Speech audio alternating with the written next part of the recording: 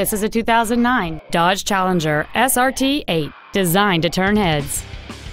It features a 6.1 liter, 8 cylinder engine and a manual transmission. Its top features include a navigation system, keyless go, a low tire pressure indicator, the Uconnect infotainment system, satellite radio, and a sunroof enables you to fill the cabin with fresh air at the push of a button.